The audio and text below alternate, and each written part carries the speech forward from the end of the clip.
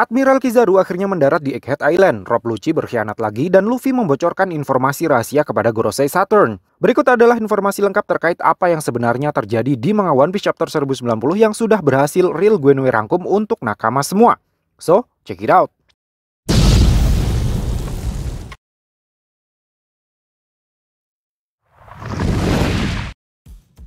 Manga One Piece Chapter 1090 dibuka dengan perbincangan serius antara Monkey D. Luffy dengan para Gorosei melalui saluran Denden Mushi. Tanpa basa-basi, Luffy langsung bilang kalau dirinya adalah orang yang akan menjadi Raja Bajak Laut. Luffy kemudian melanjutkan kalau kelompoknya saat ini sudah menjalin kerjasama dengan Dr. Vegapunk. Jadi jika ingin York selamat, maka Angkatan Laut harus menarik pasukan mereka sejauh mungkin dari Egghead Island. Mendengar ultimatum dari Luffy itu, para marinir, Admiral Kizaru, bahkan juga para Gorosei yang berada di Marijoa terlihat begitu terkejut. Sementara Morgans yang ternyata sejak awal terus menguping perbincangan mereka dengan menggunakan deden mushi hitam, terlihat begitu antusias mendengarnya. Di belakang Morgans, kita bisa melihat Vivi dan Wapol yang turut menguping pembicaraan terlihat tidak kalah shock mendengarnya. Salah satu Gorosei di Marijoa kemudian bertanya kepada Luffy, siapa saja yang ada bersamanya saat ini. Saking polosnya, Luffy nyaris saja membocorkan kondisi mereka saat ini kepada para Gorosei jika saja Nico Robin tidak mencegahnya. Namun gara-gara mendengar suaranya, Gorosei akhirnya jadi tahu kalau Nico Robin saat ini sedang bersama dengan Luffy. Mungkin Luffy pikir Angkatan Laut pasti akan ketakutan dan mundur jika tahu siapa saja orang yang sedang mereka hadapi. Nami hanya bisa tepuk jidat melihat kelakuan kaptennya itu. Sementara Usopp terlihat marah-marah kepada Luffy karena tuh anak polosnya benar-benar keterlaluan. Gorosei Saturn kemudian bilang kepada marinir yang ada di dekatnya bahwa misi utama mereka saat ini ada tiga. Pertama, menyelamatkan York. Kedua, jangan sampai merusak pang record. Dan yang ketiga, menemukan power plant untuk Mother Flames. Selain ketiga hal itu, diapain aja boleh. Si marinir kemudian mencoba mengingatkan Saturn kalau Rob Lucci dan para agen Cyberpol yang lain saat ini juga ada di Egghead Island. Namun Saturn bilang prioritas utama mereka saat ini hanya ada tiga itu saja. Dengan kata lain, jika situasinya memburuk, Rob Lucci dan para agen Cyberpol yang ada di Egghead Island juga boleh ikut dimusnahkan. Karena menurut Saturn, manusia itu tidak jauh berbeda dengan serangga. Meskipun banyak yang mati, tapi dalam waktu singkat akan segera tergantikan dengan generasi yang baru. Kembali ke laboratorium. Merasa sudah deal-dealan dengan Gorosei, York kini berani menyuruh lawan politiknya untuk jangan berani-berani menyakitinya, atau Egghead Island akan langsung di bumi hanguskan seperti Ohara. Mendengar York menyebut-nyebut nama Ohara, Nami yang tersulut emosinya langsung mengoplok jidat York dengan tongkat sihirnya sampai benjol. Dari percakapan mereka semua, akhirnya diketahui kalau Vegapunk Shaka dan Pythagoras resmi tewas. Sementara Edison masih bisa diselamatkan. Kaku dan Robin mengalami luka yang lebih parah dibandingkan dengan yang lain, tetapi saat ini sudah mendapatkan pengobatan dari Chopper. Sementara Rob Lucci terlihat ngomong sendiri, atau setidaknya dia ngakunya begitu. Nah, di momen halal bihalal tersebut, Usopp menghubungi para agen Cyberpol yang berada di laboratorium bawah tanah melalui Denden Mushi CCTV. Ternyata mereka semua tidak hanya dibebaskan oleh kelompok topi jerami, tetapi juga diberi makanan yang berlimpah. Makanya meski status klub mereka bermusuhan, tetapi para agen Cyberpol ini justru sangat berterima kasih kepada klub topi jerami. Saking tidak tahu malunya, mereka juga meminta untuk dibebaskan dari Egghead Island, atau paling tidak dipindahkan dari ruang bawah tanah karena mereka takut jika harus satu ruangan dengan para Seraphim. Namun Vegapunk menjamin kalau para Seraphim itu saat ini bukanlah ancaman, karena mereka berempat sudah dikurung di dalam gelembung yang memiliki gelombang energi yang sama dengan si Stone. Jaminan dari Vegapunk itu kemudian diperkuat lagi dengan perkataan S-Snake yang secara gamblang mengatakan kalau tidak ada perintah untuk memusnahkan mereka semua.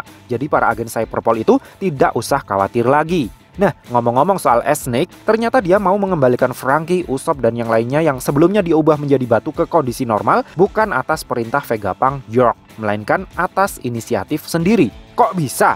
Ternyata Luffy yang salah mengira dirinya sebagai buah hengkok lah yang telah menyuruh S-Snake untuk mengembalikan Franky dan yang lainnya ke kondisi normal. Dan S-Snake yang ternyata juga jatuh hati kepada Luffy seperti halnya buah hengkok tidak kuasa untuk menolak permintaan kakandanya tercinta itu. Yang jadi masalah sekarang tinggal bagaimana menonaktifkan Frontier Dome karena York telah mengunci apa pun yang berkaitan dengan akses ke Frontier Dome dengan password yang hanya dia saja yang mengetahuinya karena dia tidak membaginya ke Pang Record. Di waktu yang sama, Nami terlihat mulai mengamati arah yang ditunjuk oleh log postnya, di mana salah satunya mengarah ke timur laut. Vegapunk Stella kemudian mengatakan kalau arah yang ditunjuk oleh log post tersebut adalah Pulau Elbaf. Mendengar nama Elbaf, Luffy dan Usopp terlihat sangat terkejut sekaligus super bahagia karena Elbaf adalah salah satu tempat yang sangat ingin mereka kunjungi. Masalahnya sekarang, bagaimana caranya keluar dari laboratorium atas dan menerobos barikade armada angkatan laut? Vegapunk Stella bilang, untungnya posisi Tosen Sunny ada di laboratorium atas sehingga memungkinkan untuk dibawa terbang menggunakan Vega Force One. Yang jadi masalah, Vega Force One hanya bisa terbang di sekitar Egghead Island saja. Jadi pasti akan langsung jatuh setelah mencapai batas radius maksimal. Namun Frankie bilang, itu bukan masalah besar karena Tosen Sunny bisa lanjut terbang sejauh 1 km setelahnya menggunakan Coupe de Bourse. Vegapunk terlihat cukup terkejut mendengar kemampuan Tosen Sunny itu. Dan dia terlihat lebih terkejut lagi begitu mendengar kalau bahan bakarnya adalah cola. Namun semua rencana indah itu tidak akan mungkin terwujud jika mereka tidak bisa membuka Frontier Dome. Sehingga sekarang adalah tugas Vegapunk Stella, Edison, dan Atlas untuk berusaha menghack passwordnya York. Sementara itu, Lilith bersama dengan Frankie, Luffy, dan Bonnie sudah bergerak menuju ke tempat parkirnya Vega Force One dan Tosen Sunny dan bersiap untuk terbang begitu Frontier Dome berhasil dibuka. Lilith terlihat sangat bersemangat karena akhirnya mimpinya untuk bisa kelayapan di luar Egghead Island akan segera terwujud. Sementara Luffy dan Bonnie terlihat cukup kecewa karena setelah ini mereka pasti akan sangat rindu dengan makanan enak yang melimpah di Egghead Island. Tapi kalau cuma pizza keju sih, Bonnie akan tetap bisa mendapatkannya di Tosen Sunny karena ada Sanji yang pasti akan siap sedia untuk membuatkannya. Bonnie pun terlihat sangat terpesona dengan sosok Sanji. Baginya, Sanji adalah sosok pria yang sangat hebat karena selain kuat dalam bertarung, juga sangat jago dalam memasak. Luffy pun terlihat heran dengan moodnya Bonnie yang kini terlihat lebih cerah dari sebelumnya. Namun Bonnie bilang itu bukan masalah besar karena kini dia tidak lagi ingin balas dendam kepada Vegapunk, beban hidupnya serasa sangat jauh berkurang. Luffy jelas senang mendengarnya karena itu berarti Bonnie sudah tidak akan menjadi duri dalam daging dalam rencana pelarian mereka. Sekarang kita pindah ke posisinya Gorosei Saturn. Ternyata di awal tadi Rob Lucci bukan sekedar ngedumel sendiri seperti yang dia bilang. Diam-diam dia melaporkan kondisi di dalam laboratorium kepada Angkatan Laut. Setelah mengetahui dengan pasti kondisi di dalam, Gorosei Saturn kemudian menyuruh Admiral Kizaru untuk menerobos masuk. Mengingat Kizaru adalah manusia cahaya, Saturn yakin kalau laser Frontier Dome bukanlah masalah besar baginya. Kizaru sendiri sepertinya juga cukup percaya diri dengan kekuatan buah iblisnya itu. Masalahnya sekarang, orang yang menjaga bagian bawah Egghead Island adalah Sentomaru yang sudah Kizaru anggap sebagai teman sendiri. Sebenarnya, Saturn sempat menyuruh Kizaru untuk mengabaikan Sentomaru dan terus menerobos masuk ke dalam Frontier Dome.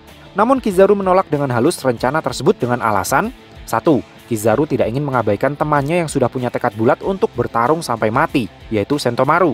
Dua, jika Sentomaru diabaikan, maka dia pasti akan memerintahkan para robot Seeking dan para pasifista untuk menenggelamkan semua kapal angkatan laut, sehingga kerugiannya justru akan semakin besar bagi pemerintah dunia. Dengan begitu, fix Kizaru pasti akan menantang duel Sentomaru sampai salah satu dari mereka KO.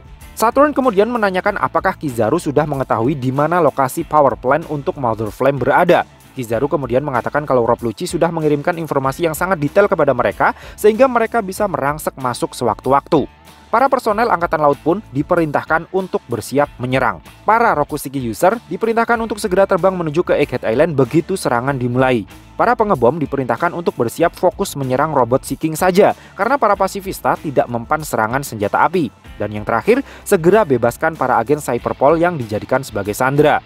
Setelah semuanya siap, Kizaru langsung meluncur ke Egghead Island menggunakan teknik Yata no Kagami. Dan orang yang langsung menyambutnya di sana sudah pasti adalah Sentomaru. Namun sebelum bentrok langsung dengan Kizaru, Sentomaru terlebih dahulu menyuruh para pasifista untuk menenggelamkan semua kapal musuh yang mengepung Egghead Island. Pertarungan penting antara Kizaru versus Sentomaru pun dimulai.